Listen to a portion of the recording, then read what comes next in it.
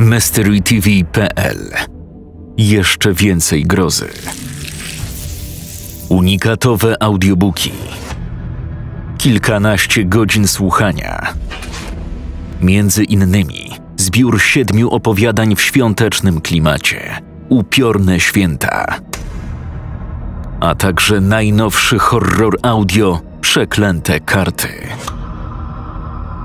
Oprócz tego znajdziesz tu ścieżki dźwiękowe ze swoich ulubionych serii. www.mysterytv.pl Zapraszamy.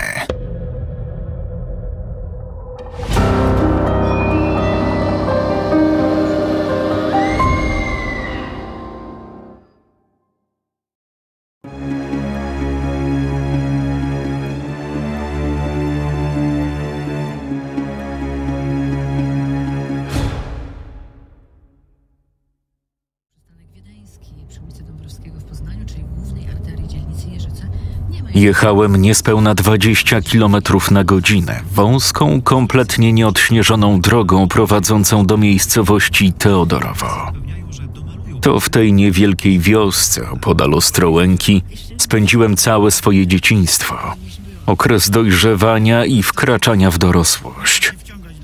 Gdybym miał zobrazować, jak wygląda Teodorowo, powiedziałbym, że jest to jedna ulica z domami po jednej i drugiej stronie. I to wszystko. Ciągnie się przez ileś set tam metrów i kończy. Oczywiście nie kończy się ulica, tylko miejscowość. Teodorowo przechodzi w Laskowiec, czyli dalszą część tej samej drogi z domami po dwóch stronach, biegnącymi wzdłuż rzeki Narew. Zajechałem pod dom, który kiedyś śmiało i dumnie nazywałem swoim.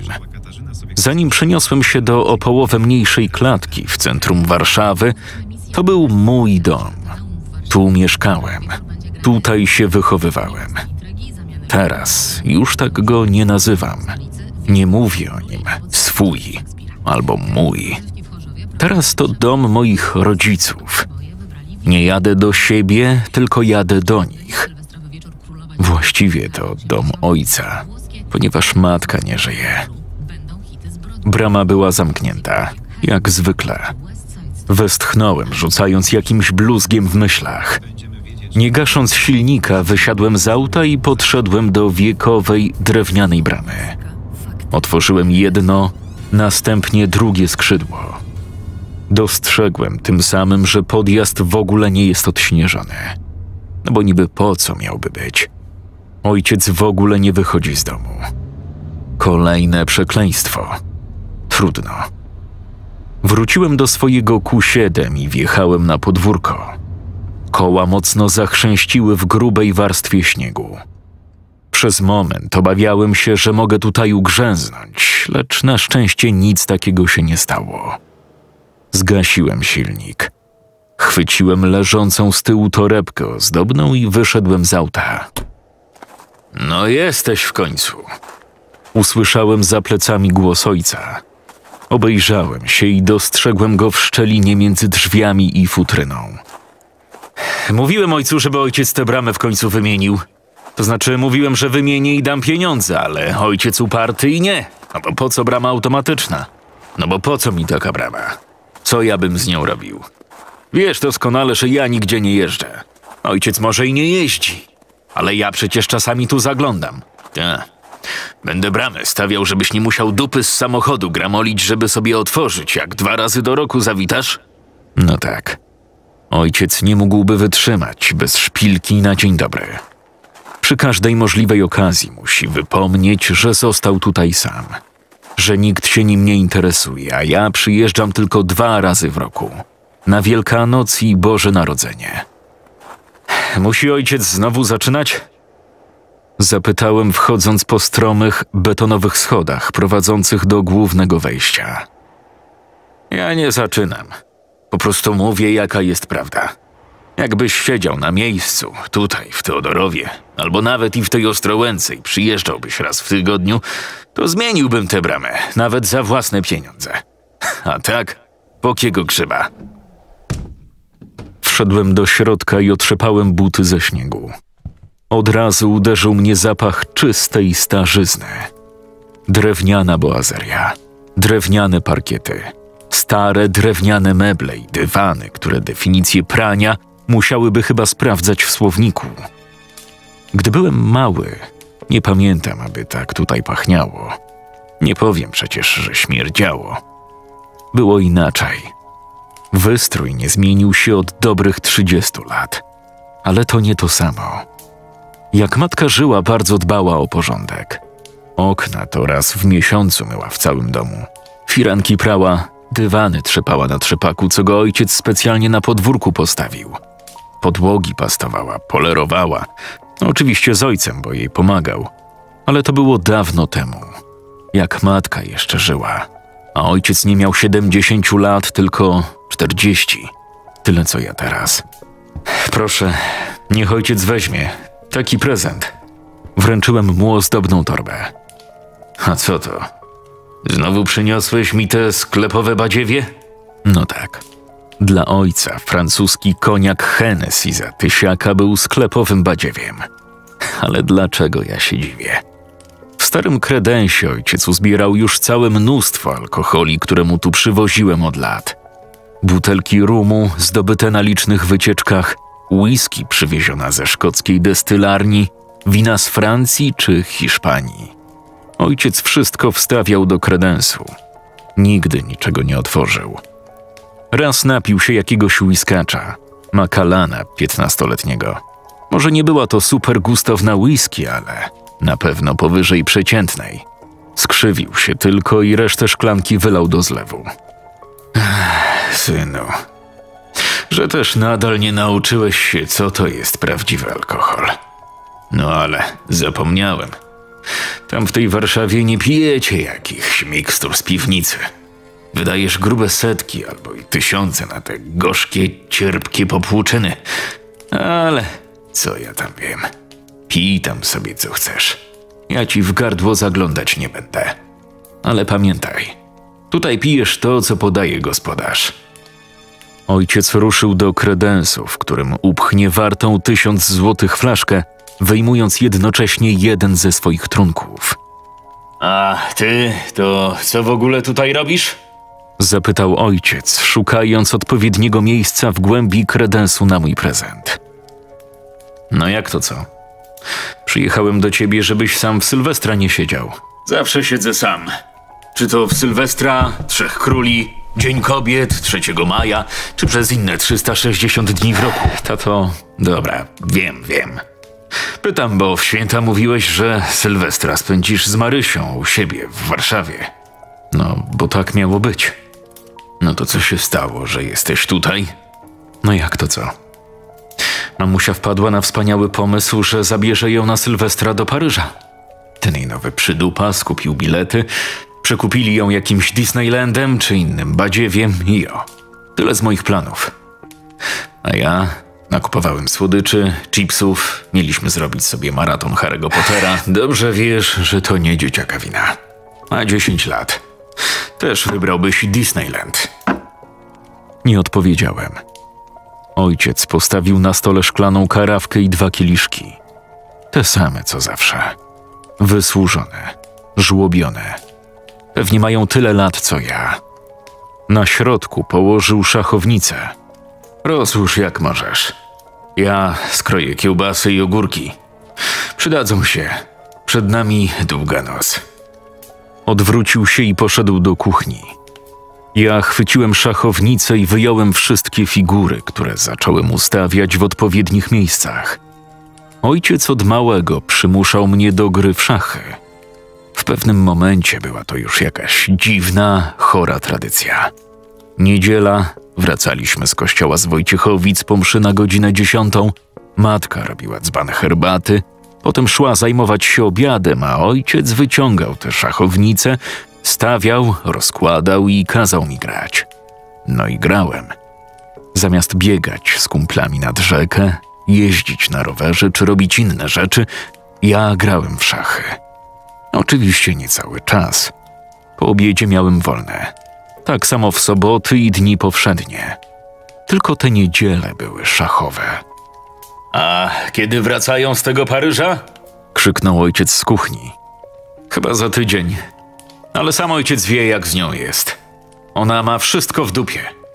W dupie ma ustalenia, w dupie ma moje prawa. Jak ona chce sobie wyskoczyć do Paryża i zabrać małą, to po prostu ją zabiera i leci.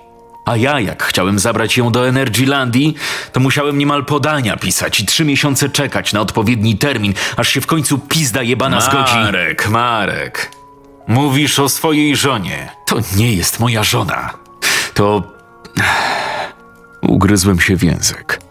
Nie chciałem ojcu psuć nastroju. Nie chciałem sam sobie psuć nastroju, chociaż i tak był już mocno nadszarpnięty.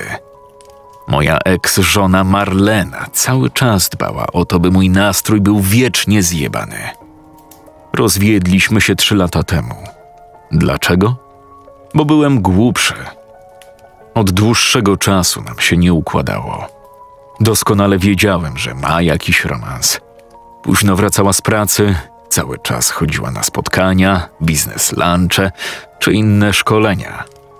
Wiedziałem, że jest inny facet.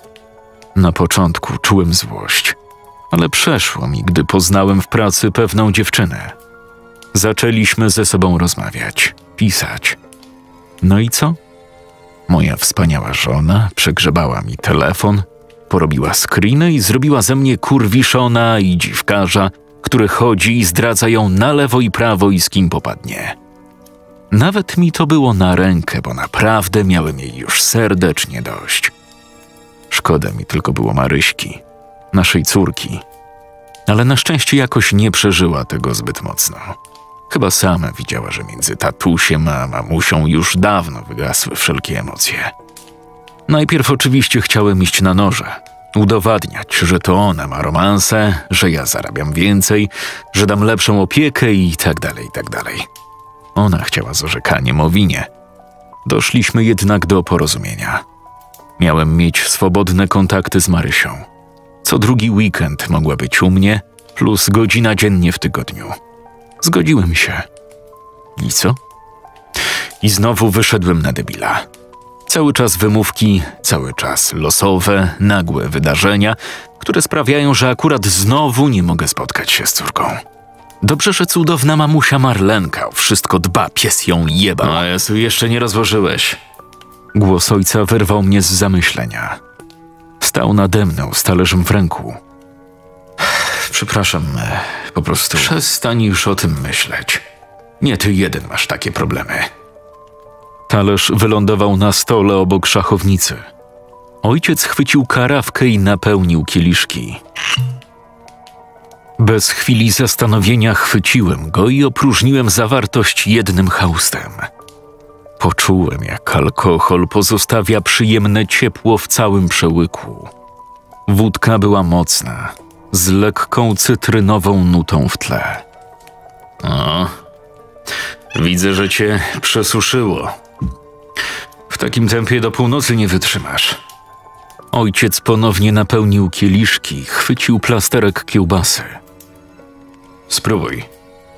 Od maliniaka sam robił. Tym roku naprawdę niezła mu wyszła. Chwyciłem kiełbasę i zagryzłem. Miał rację. Smakowała wybornie. Zupełnie inaczej niż sklepowa podwawelska czy krakowska. Może z wódką jest tak samo, tylko ja za bardzo się już przyzwyczaiłem. No. To losuj. Wyciągnął w moją stronę dwie zaciśnięte w pięści dłonie. Wskazałem na jego prawą. Czarny pion. Ojciec uśmiechnął się i obrócił szachownicę tak, że przede mną znalazły się czarne figury, a białe przed nim. W ogóle masz jakiegoś szampana, żeby powitać hucznie nowy rok? A na co mi szampan? A to co? Złe? Nie, dobre. No ale wie tata, szampan to szampan. Myślałem, że wyjdziemy na podwórko albo pójdziemy w dół do rzeki, jak za dawnych lat i przywitamy nowy rok, nigdzie nie będę szedł. Rzucił ojciec dość ostro. Był człowiekiem bardzo twardo stąpającym po ziemi. Miał chłodny umysł. Wszystko i wszystkim tłumaczył w sposób zdecydowany, racjonalny i pozbawiony emocji. Niektórzy uważali go za opryskliwego, gburowatego, co oczywiście nie było prawdą. Nawet jak mówił coś oschle, nie oznaczało to, że jest zły. Nawet jak krzyknął i powiedział coś dobitnie, wcale nie znaczyło, że się wściekł. Po prostu taki był. Ale my, w sensie ja i dawniej matka, doskonale wiedzieliśmy, kiedy naprawdę jest zdenerwowany, kiedy naprawdę mówi coś w złości. Dla przeciętnego Kowalskiego albo sąsiada z zapłotu mogło nie być żadnej różnicy. My jednak słyszeliśmy ją doskonale. I teraz właśnie ją usłyszałem. Aż tak się ojciec tutaj zasiedział? Ja rozumiem, że już nie te lata, ale taki spacer dobrze by ojcu zrobił. Przypomnielibyśmy sobie, jak to było dawniej. Ostatni raz byliśmy nad rzeką w Sylwestra. Nigdzie stąd nie pójdę. Ton, w jakim wypowiedział to zdanie, naprawdę mnie zamurował. Czułem w nim autentyczną złość oraz, nie wiem, lęk? No dobra, no nie chcesz to nie. Przecież nie będę cię ciągnął siłą. Wyjdziemy na balkon Chcesz, i... to idź sam. Na balkon też możesz iść sam. Ja nie zamierzam nigdzie wychodzić. Nawet na balkon? Przecież... Nawet na balkon. Ewidentnie coś było nie tak. Zachowanie ojca zmieniło się diametralnie. Widziałem, słyszałem i czułem, że temat wyjścia z domu wywoływał u niego dziwną awersję. Byłem poniekąd zdziwiony, bo do tej pory jakoś tego nigdy nie zauważałem. Ale możliwe, że nie poruszałem z nim tematu wychodzenia. Poza tym, w ciągu dnia nie ma z tym problemu. Nie chciałem go jednak więcej męczyć i denerwować. Może po kilku kieliszkach zmieni zdanie i da się namówić na wypad nad brzeg Narwi. W końcu zawsze tak robiliśmy w Sylwestra. Lecieliśmy nad rzekę, odliczaliśmy od dziesięciu i obserwowaliśmy plejadę fajerwerków, która unosiła się nad całą Ostrołęką. Twój ruch. Ojciec znowu wyrwał mnie z zamyślenia. Nerwowo przeżuwał ogórka. Spojrzałem na szachownicę. Pion na E4. Nie zastanawiałem się długo i odpowiedziałem pionem na C6. Chyba nie tego się spodziewał, ponieważ popatrzył na mnie z lekko uniesionymi brwiami. Co tam słychać w ogóle we wsi? Wiele od świąt się nie zmieniło. No tak. Paulina przyjechała do rodziców. O. Naprawdę? Ojciec powiedział to specjalnie. Paulina była moją szkolną miłością. Mieszkała na końcu wioski, niemal na granicy z Laskowcem. Chodziliśmy w podstawówce do jednej klasy przez 8 lat. W szkole średniej nasze drogi się rozeszły, ale utrzymywaliśmy kontakt niemal do dziś. O ile sporadyczne spotkanie raz w roku można nazwać jakimkolwiek kontaktem. W każdym razie, gdy tylko udało nam się zjechać w tym samym terminie w rodzinne strony, wyskakiwaliśmy sobie na kawę do miasta. Ja mieszkałem w Warszawie, Paulina w Białymstoku. Z tego co wiem, dopiero rok temu wyszła za mąż. Przez bardzo długi czas była panną, a ja liczyłem, że może po rozwodzie uda nam się odnowić znajomość na tyle, że kto wie, może by coś zaiskrzyło. Niestety, Paulina nigdy nie dowiedziała się o moich skrytych uczuciach. Może i lepiej? Kto wie, jakby zareagowała. Może zerwałaby kontakt? A tak, rzadko, bo rzadko, ale jednak od czasu do czasu się spotykamy. I co? Widziałeś się z nią? Ta. Za mąż wyszła, widziałeś? Ta. Na Facebooku widziałem. No i dobrze. Czekała, czekała, czekała i się doczekała. Ciekawe tylko, czy to prawdziwa miłość, czy tylko lęk przed samotnością na stare lata. A dlaczego tak by miało być? Co ja ci będę mówił? Paulina to bardzo zgrabna babka. Zawsze miała tu powodzenie u chłopaków. Ładna, miła, a ten jej jakiś taki niewyględny. W ogóle do niej nie pasuje. Najważniejsze, że jej pasuje. Powiedziałem niezgodnie z tym, co myślałem w duchu. Ojciec wzruszył ramionami, ruszył piona na D4. Odpowiedziałem ruchem na D5. Kolejne kilkanaście minut upłynęło tylko na grze. Skupiliśmy się na szachownicy i opróżnianiu kieliszków. Za dwie godziny północ. Powiedziałem, przesuwając wieżę na H8. Wykonaliśmy już kilkanaście, jak nie kilkadziesiąt posunięć. No i co? No jak to co? Szukaj tego szampana, albo bierz tę wódkę i idziemy nad rzekę, jak kiedyś. Ojciec nie odpowiedział. Po minie jednak widziałem, że zdenerwowały go moje słowa. Możesz mi powiedzieć, o co chodzi? Wstał od stołu i ruszył w kierunku kredensu. Wstawił opróżnioną butelkę, wyjmując jednocześnie kolejną, napełnioną. Wrócił i postawił na stole z donośnym hukiem. Rozlał alkohol do kieliszków, opróżnił zawartość jednym haustem i przesunął gońca na F8. Tato, co? Możesz mi powiedzieć, o co ci chodzi?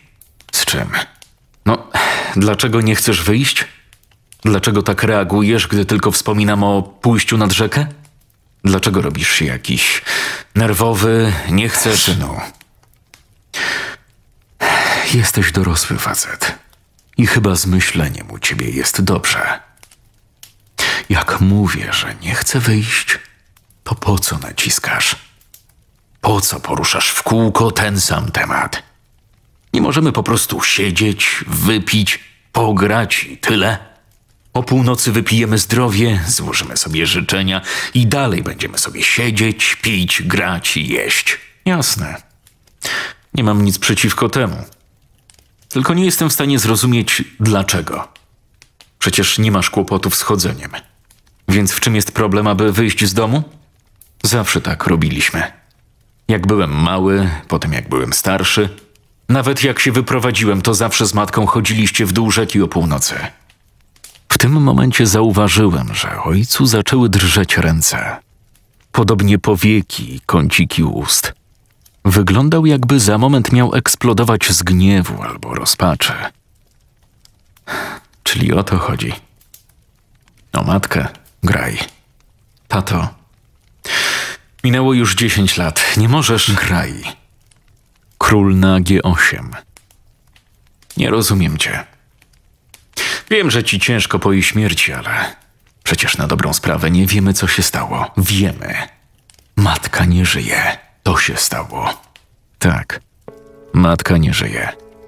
Tak przynajmniej uważamy. Doskonale pamiętam ten dzień. To było 10 lat temu. Właściwie to za moment będzie 11.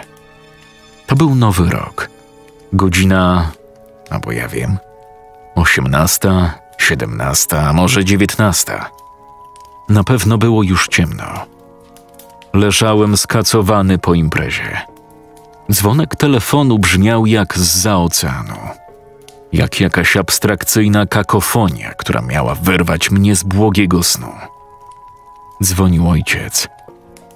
Gdy tylko przyłożyłem aparat do ucha, usłyszałem jego głos.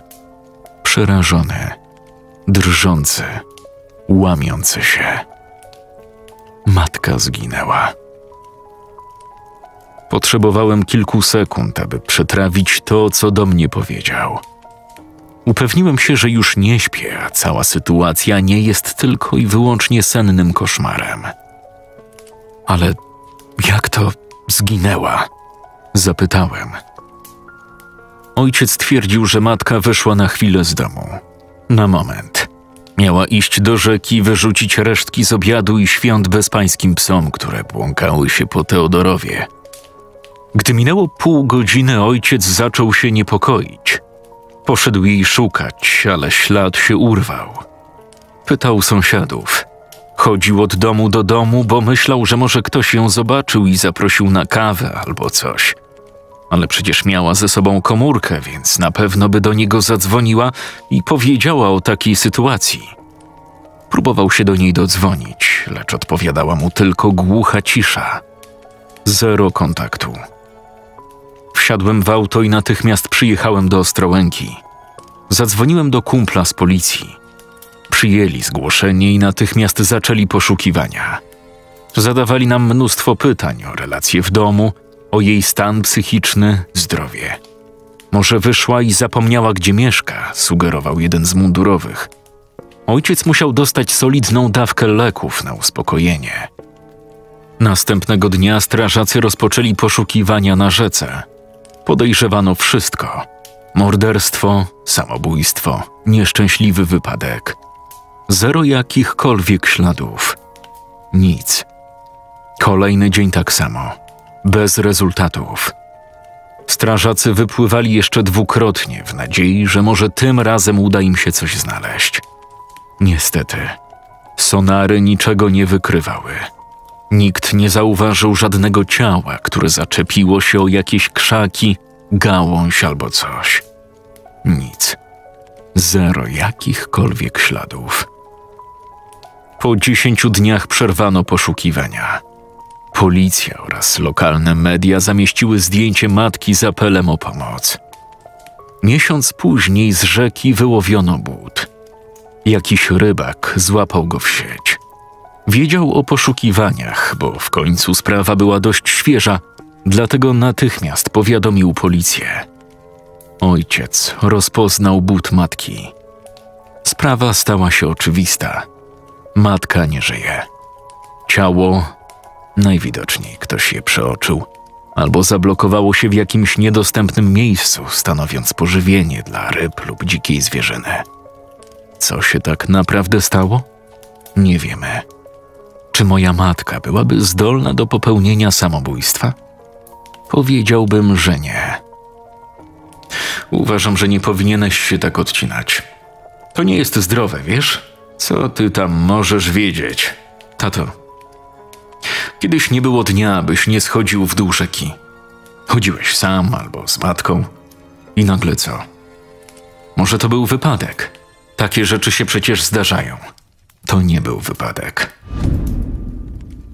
Słowa, które wypowiedział ojciec, brzmiały dobitnie. Kipiały wręcz pewnością. Przez moment zastanawiałem się, do czego zmierza. Uważa, że matka popełniła samobójstwo, czy być może jest coś, o czym wie tylko ojciec i do tej pory mi o tym nie powiedział. Co masz na myśli? To nie był wypadek, rozumiesz? To nie był żaden wypadek, ani żadne samobójstwo. Ojciec zerwał się z krzesła i ruszył do kuchni. Przez chwilę analizowałem wypowiedziane przed chwilą słowa. Jest przekonany, że za śmierć matki odpowiada coś zupełnie innego. A może ona żyje? Może po prostu od niego odeszła? Wrócił po chwili z paczką papierosów. Spojrzałem na niego zaskoczony. Co ty, tato, przecież. Wiem. Nie paliłem od dwudziestu lat. Z jedną przerwą dziesięć lat temu. Wtedy jarałem jak smok, ale krótko. No to co się dzieje? Ojciec sięgnął po butelkę i napełnił kieliszki. Pi. Tato, po... pi mówię. Chwyciłem kieliszek i opróżniłem zawartość. Czułem, że alkohol już na dobre rozgościł się w moim ciele. Przyjemne uderzenie w głowie, które od teraz z każdym kolejnym kieliszkiem będzie się tylko pogarszać. Ojciec przystawił płonącą zapałkę do papierosa i zaciągnął się. Następnie zbił mojego piona na G6 wieżą z G4. Tym samym szachował mojego króla na G8. Szach. Wiem, co się stało z matką. Te słowa zabrzmiały jak dzwon. Poniosły się echem po całym domu, odbijając od ścian, okien, mebli. Powracały do mnie ze zdwojoną siłą. Wiem, co się stało z matką. Wiem, co się stało z matką. Wiem, co się stało z matką. Jak to? Co chcesz przez to powiedzieć? Twój ruch. Mówisz poważnie? Skrywasz jakieś sekrety? Dziwnie się zachowujesz, a ja mam wykonywać ruch? O co chodzi? Wszystko jest jednym wielkim kłamstwem. Rozumiesz? Nie rozumiem. Naprawdę nie rozumiem, o czym on w tej chwili mówi.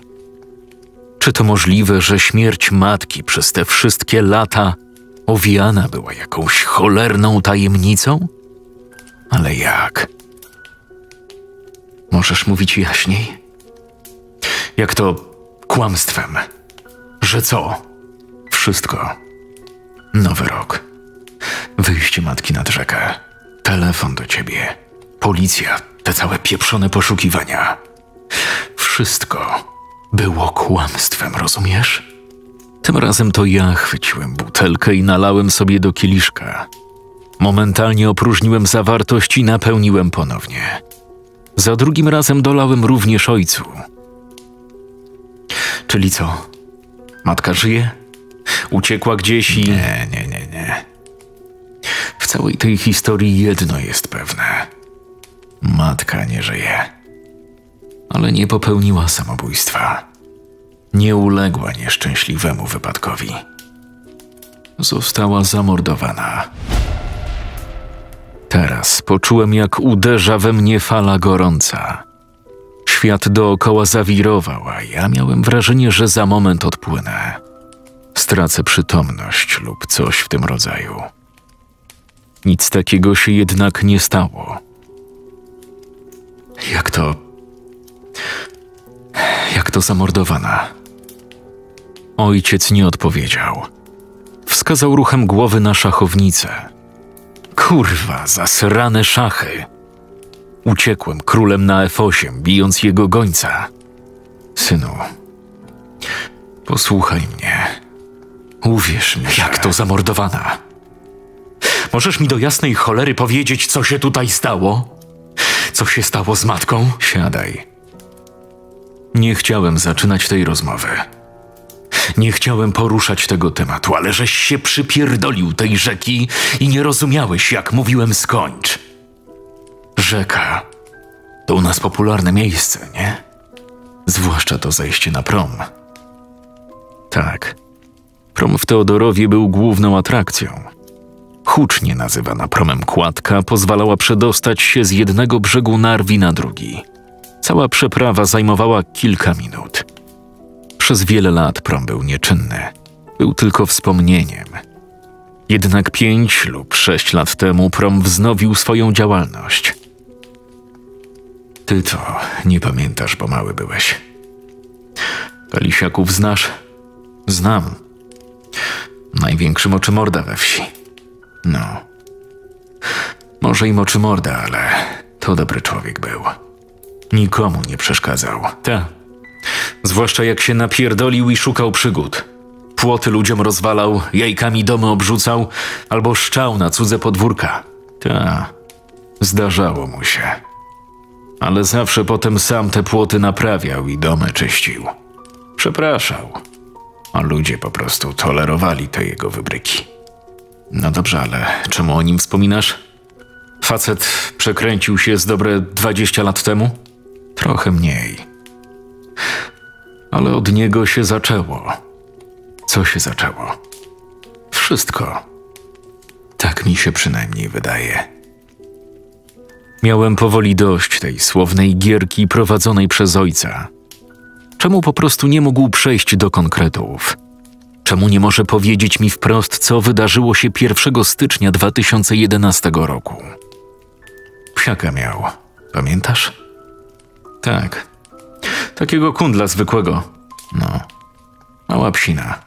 Latał luzem po całym Teodorowie. Nie był groźny. Któregoś dnia mu ta psina zniknęła. Nie ma się co dziwić. Jak latał luzem, wiele rzeczy mogło się przydarzyć. Mógł wpaść pod samochód albo... Nie, nie, nie. Kalisiak doskonale wiedział, co się stało z jego psem. Opowiedział mi o tym kilka miesięcy później. Ale mimo, że minęło tyle czasu, drżał, jak relacjonował tamten dzień. Był przerażony. Cały dygotał. Może był dalej napruty. Był nad rzeką. Właśnie niedaleko promu. Uzbierał jakieś grosze i kupił sobie dwa czy trzy piwa w puszce. Poszedł tam, żeby je w spokoju wypić. Ten kundel biegał wzdłuż brzegu. Wąchał trawę, rozkopywał ziemię, jak to pies. Wiadomo, że Kalisiak nie gapił się w niego i nie pilnował jak dzieciaka. Podobno usłyszał, jak pies zaczyna szczekać. Gdzieś tam za krzakami. Szczekał. Ale podobno tak, jak nigdy jeszcze nie szczekał. Myślał, że pewnie coś zobaczył. Kota albo rybę, albo jeszcze co innego. Dopiero jak zaskomlał i zawył, Kalisiak zerwał się i pobiegł go szukać. Dobiegł na niewielką plażę. Zobaczył ślady na piachu. Wszystko było rozkopane. Podobno widział jakieś bąble pod wodą. Bąble? Tak. Takie jakby ktoś zanurkował. Bąble, które za moment rozeszły się po tafli wody. I co? No, Kalisiak uznał, że jego pies się utopił. Że wszedł do rzeki, może nieco dalej niż powinien i utonął. Przecież psy potrafią pływać. Ach, rzeka to rzeka. Przeciętny Kowalski by się utopił w tej narwie, a co dopiero mała psina. Ale to nie wszystko, co powiedział Kalisiak. Pamiętam, że spotkałem się z nim. Przyszedł do mnie dosłownie dzień lub dwa przed swoją śmiercią. Wtedy mi o wszystkim opowiedział. Przez cały ten czas analizował tę sytuację. Wspominał, zastanawiał się.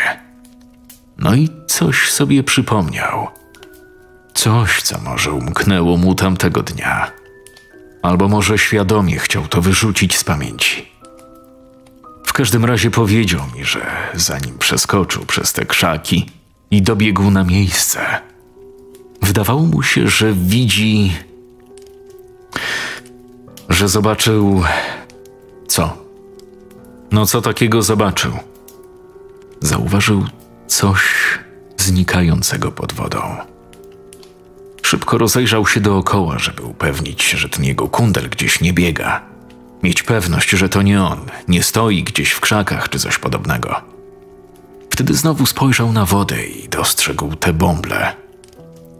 Dopiero wtedy przekonał się, że to ten jego psiak. Mógł przecież wskoczyć i go uratować. Ta. A ty byś wskoczył? Wiesz, jak to tutaj wygląda. Nurt mocny. Zrobisz dwa kroki od brzegu i już nie masz gruntu, a na środku rzeki możesz stać w wodzie do pasa.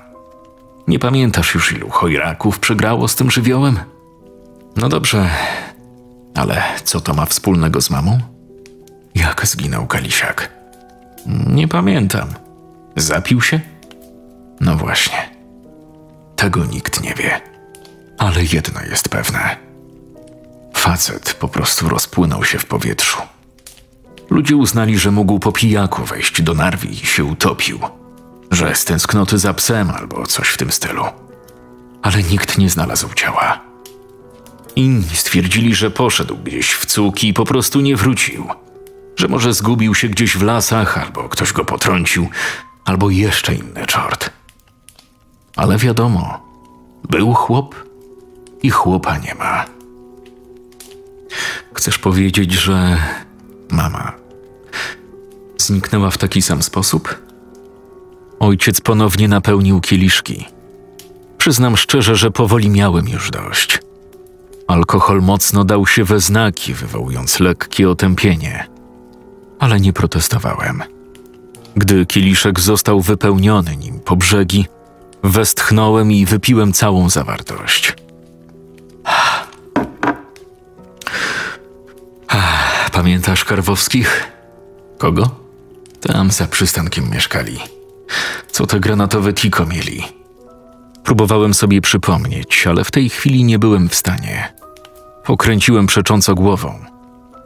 Jak procesja w Boże Ciało szła, to zawsze u nich na podwórku ołtarzyk stał. Oni... A, wiem. Dobra, było mówić, że ten od Ursusa. Pan Karwowski kupił sobie traktor. Nie wiadomo po co, bo przecież nie miał żadnej ziemi, żadnej roli, nic. Po prostu lubił jeździć traktorem. Latem często robił nim wypady nad rzekę, a gdy była potrzeba, wynajmował go przeróżnym ludziom, którzy z jakichś względów nie mieli własnego. popsuł się, czekali na nowy albo coś innego. Wtedy Karwowski wynajmował na dzień, dwa, tydzień albo miesiąc, zależy ile kto potrzebował. No dokładnie ten. To co się z nim stało? No, z tego co pamiętam, to chyba dość tragicznie skończył, nie? Co on tam zawiózł nad tę rzekę? Jakieś ustrojstwo chyba do zboża. Nie pamiętam co to było, ale chciał chyba tam te chaszcze przy promie wykosić. No coś kombinował. Ale co? Nie wiem, czy sam miał pojęcie. Ale tak było. Chłop wieczorem pojechał nad rzekę i przepadł. Dzieciaki poszły się bawić przy promie i co znalazły? Krew. Mnóstwo krwi, buty Karwowskiego. Policja od razu uznała, że go ta maszyna po prostu poćwiartowała, rozrzucając wszystko do rzeki. Nawet nie było mowy o jakimkolwiek śledztwie albo poszukiwaniach. No dobrze, ale to chyba zdecydowanie można uznać za nieszczęśliwy wypadek. Takie rzeczy się zdarzają. A co to? Mało razy na wsiach ktoś wpadł pod kombajn, albo jakieś rozgniatarki, rozdrabniarki do zboża, rozrzutniki czy inne zabawki? Może i wypadek. Wszyscy uznali, że to wypadek. Nawet Karwowska. A co? Ty uważasz inaczej? Do tamtego dnia nie. Też myślałem, że to był wypadek. I tak to sobie tłumaczyłem. Ale wtedy wszystko się zmieniło. Dalej nie miałem pojęcia, do czego zmierza. O co w tej całej historii tak naprawdę chodzi i jaki to ma związek z moją matką? Powiedziałeś, że cała ta historia z jej wyjściem w nowy rok, te poszukiwania i ta policja, że wszystko było kłamstwem. Tak. To możesz w końcu powiedzieć, o co chodzi? Co jest tym kłamstwem i co się stało z matką? Ojciec sięgnął po leżącą na stole paczkę papierosów. Wykorzystałem ten czas i tym razem to ja chwyciłem butelkę i rozlałem wódkę do kieliszków. Kończyliśmy powoli drugą butelkę, jeszcze nie wybiła północ. Ojciec zaciągnął się dymem i powoli wypuścił powietrze. W nowy rok. Matka już nie żyła. Jak to? Wszystko wydarzyło się dokładnie chwilę po północy. Ty byłeś wtedy w Warszawie na tej swojej firmowej imprezie. Dzwoniłeś jakoś przed północą z życzeniami, pamiętasz? Tak. Wiedziałem, że później mogę mieć problem z połączeniem, jak wszyscy zaczną do siebie wydzwaniać. Wolałem to załatwić przed. Tak. Wtedy szykowaliśmy się do wyjścia. Matka wzięła butelkę szampana, dwa kieliszki. Już mieliśmy wychodzić i zadzwoniłeś. Pogadaliśmy chwilę, wszystkiego dobrego i tak dalej. Wyszliśmy z domu i poszliśmy w dół do rzeki, jak zawsze. Wtedy była piękna pogoda. Niebo czyste. Lekki przymrozek. Pamiętam to doskonale. Nawet ją pospieszałem, bo bałem się, że nie zdążymy. Powiedziała tylko: No i dobra, nic się nie stanie. Stąd też zobaczymy, a szkoda tak pięknego wieczoru. No to szliśmy powoli. Na szczęście dotarliśmy tam przed północą. Staliśmy, obserwując rzekę, niebo. Rozmawialiśmy o swoich noworocznych postanowieniach, planach. Co zrobimy, gdzie pojedziemy, co zwiedzimy. Patrzyłem na zegarek. Gdy zbliżała się dwunasta, chwyciłem szampana i zaczęliśmy odliczać. Dziesięć, dziewięć, osiem. Miałem problem, żeby zerwać to cholerne zabezpieczenie przy szyjce. Siedem, sześć, pięć. Matka patrzyła na mnie niecierpliwie ale jednocześnie była rozbawiona tą sytuacją. Stary facet, który siłuje się z butelką od szampana. Cztery, trzy, dwa. Udało się. W ostatniej chwili zerwałem ten cholerny drucik i bez chwili namysłu z całej siły zacząłem napierać kciukami na korek. Jeden. Strzał. Szampan zaczął się pienić i wylewać. Całą kurtkę miałem upieprzoną. A matka śmiała się w głos, jak stałem z butelką i gapiłem się na te plamy. Nalałem nam. Złożyliśmy sobie życzenia, wypiliśmy do dna, przytuliliśmy się i. Chciałem zadać pytanie: i co? Co dalej? Ale nie byłem w stanie. Widziałem, jak ciężko przychodzi mu wspominanie tej chwili. Jak ciężko zebrać mu słowa w jedną całość. Jak ciężko jest mu to wszystko z siebie wydusić. Nie chciałem go ponaglać. Sam czułem dziwny ucisk w żołądku. Czułem, jak coś chwyta mnie za gardło. Wtedy to usłyszeliśmy. Dźwięk. Okropny. Brzmiało to jak warczenie jakiegoś ogromnego psa albo wilka. Matka aż pisnęła, lekko spanikowana. Natychmiast rozejrzałem się dookoła. Co to było? Skąd dochodziło? Niczego nie widziałem. Poczułem zimny wiatr, który zerwał się nagle, znikąd. Co to było? zapytała matka. Odpowiedziałem jej, że pewnie jakiś pies, który się wystraszył, ale już zapewne uciekł. To jej nie przekonało. Widziałem lęk w jej oczach. Wtedy usłyszeliśmy to jeszcze raz, nieco wyraźniej. Za pierwszym razem ten dźwięk dochodził niemal zewsząd. Nie byliśmy w stanie określić, czy ten warkot dobiegał z krzaków, z zapleców matki czy moich. Za drugim, byliśmy pewni, że usłyszeliśmy to od strony rzeki. Momentalnie obróciliśmy się w tym kierunku i zamarliśmy. Ręce ojca zaczęły drżeć. Widziałem, że jest cały roztrzęsiony. Głos powoli zaczął mu się łamać, a oczy się zaszkliły.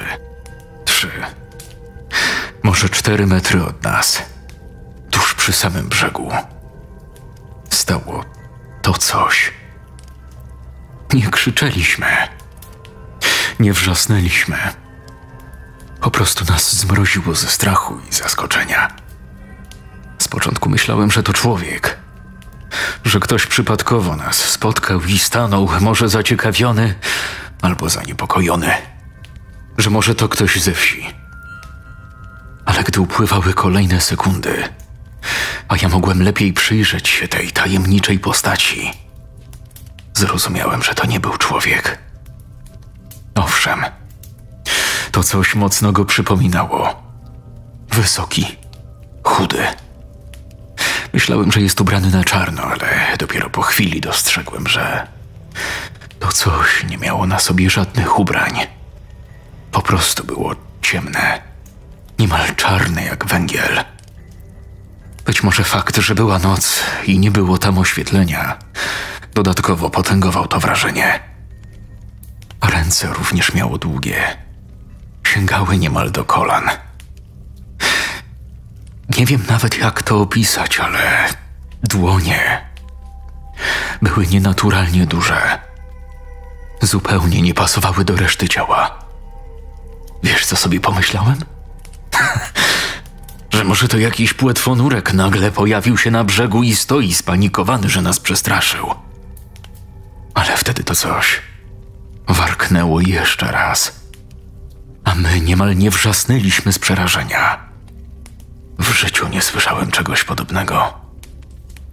Nie wiedziałem, co mamy robić. Uciekać, wołać o pomoc. Staliśmy tak i patrzyliśmy się na to coś. Wszystko rozegrało się w ułamku sekundy, rozumiesz?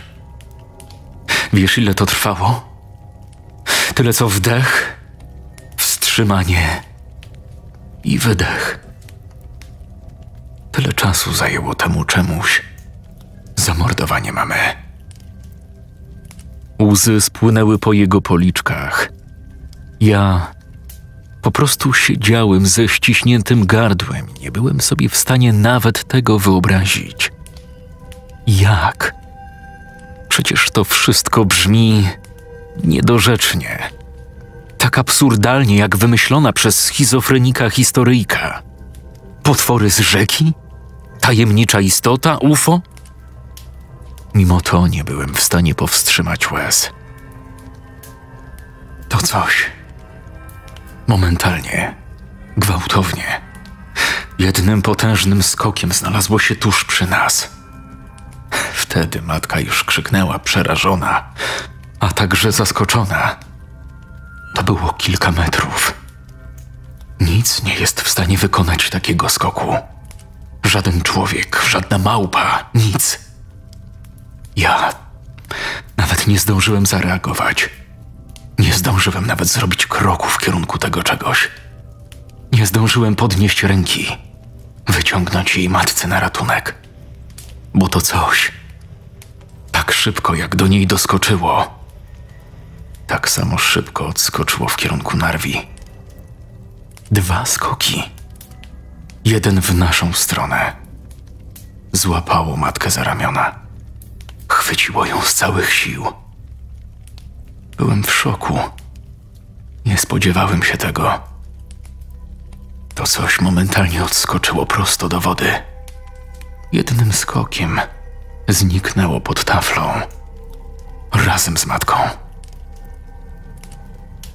Nie byłem w stanie w to uwierzyć. Nie docierało do mnie to, o czym mówił ojciec. To nieprawdopodobne, nierealne, po prostu niemożliwe. Takie rzeczy się nie zdarzają. Nie ma potworów. Nie ma tajemniczych istot, które żyją w rzekach i porywają ludzi. Stałem tam nad brzegiem przez kilkanaście sekund. Nie byłem w stanie wykonać żadnego ruchu. Byłem jak sparaliżowany. Dopiero po chwili rzuciłem się w kierunku wody. Nie zwracałem uwagi na nic. Na zimno, na pogodę. Woda była lodowata. Ja wszedłem tylko do pasa. Po prostu wiedziałem już, że nie jestem w stanie zrobić niczego. Wiedziałem, że to coś. To nie był człowiek. Nie miałem szans, by jej pomóc. Wiedziałem, że to koniec. Próbowałem to sobie wyobrazić. Poczuć to, co mógł czuć mój ojciec. Ból, rozpacz, strach i przerażenie. Co ja bym zrobił? Jeśli to, co właśnie usłyszałem, jest prawdą, zapewne zrobiłbym to samo. Wróciłem do domu. Wypiłem chyba pół litra, od tak jak kompot. Usiadłem tam pod oknem i wyłem. Wyłem na całe gardło. Byłem wściekły. Na wszystko. Na to kurestwo, które zabrało mi żonę i. i na siebie, że nie byłem w stanie niczego zrobić. Że w sumie nie spróbowałem niczego zrobić. Że jej nie obroniłem. Tłumaczyłem sobie, że wszystko wydarzyło się tak szybko, że co ja właściwie mogłem zrobić? Że gdybym zanurkował w tej narwi, to bym ją uratował? Wtedy pewnie odwiedzałbyś grób nie tylko matki, ale także i mój. Byłem cały roztrzęsiony. Musiałem być w szoku, w jakimś dziwnym amoku. Straciłem przytomność. Po prostu odpłynąłem. Strach, lęk, rozpacz, wuda. Odcięło mnie totalnie. Obudziłem się nad ranem. Czułem smród żygów, które miałem na sobie i dookoła siebie. Zacząłem się zastanawiać, czy to wszystko, co wydarzyło się w nocy, było prawdą, czy tylko koszmarem. Gdy uświadomiłem sobie, że niestety to nie był sen, zacząłem panikować. Co robić? Przecież gdybym zadzwonił na policję i powiedział, że jakaś tajemnicza, dwumetrowa istota wciągnęła moją żonę do Narwi, Ty wiesz, co oni by zrobili? Przykleiliby mi morderstwo i wsadzili do wariatkowa. Tak by się skończyło. Mąż psychopata zabił swoją żonę w noc sylwestrową i utopił w rzece. Pół dnia zastanawiałem się, co robić. Biłem się z własnymi myślami. Dzwonić do ciebie czy nie? Wzywać policję czy nie? No i wymyśliłem tę historię o zniknięciu. Po prostu wiedziałem, że nikt mi nie uwierzy, jak powiem prawdę. Wiedziałem, że nikt nie będzie chciał słuchać moich tłumaczeń o stworze z wody. Trudno. Musiałem wymyślić coś, co będzie brzmiało racjonalnie. Miałem nadzieję, że może policja zacznie jej szukać i ją odnajdzie. Że może jakimś cudem ona żyje. Że może. Jak znaleźli ten but, zgasili ostatni płomień nadziei. Przez te wszystkie lata żyłem w kłamstwie. Zastanawiałem się, co stało się z moją matką. Czy naprawdę nie żyje? Jak do tego doszło? Czy popełniła samobójstwo? Jeśli tak, dlaczego? Dziesięć lat. Dziesięć pieprzonych lat, aby dowiedzieć się, że moja matka zginęła z rąk. No właśnie. Czego? Rzecznego stwora? Po prostu nie wiem. Z jednej strony wierzę ojcu, bo dlaczego miałby mnie teraz okłamywać i wymyślać takie historyjki? A z drugiej? No błagam. Przecież to nie może być realne. To nie może być prawdziwe. Takie rzeczy się po prostu nie zdarzają. Od tamtej pory nie wychodzę po zmroku z domu. W ogóle. W ciągu dnia owszem. Wyjdę to na podwórko, to na spacer pójdę główną drogą. Nigdy więcej nie byłem nad brzegiem. Nigdy. Od tamtej nocy nie byłem nad rzeką. To miejsce dla mnie nie istnieje. Teraz wiem, że Kalisiak nie kłamał. Nie miał zapijaczonych omamów. Zaczęło się od tego psiaka. To coś wciągnęło go pod wodę. To samo spotkało Karwowskiego. I to samo zabrało naszą Wandę. Ojciec przesunął hetmana z H3 na H8, bijąc moją wieżę. Szach i mat. Teraz już wiesz, co tak naprawdę wydarzyło się w Sylwestra 2010 roku.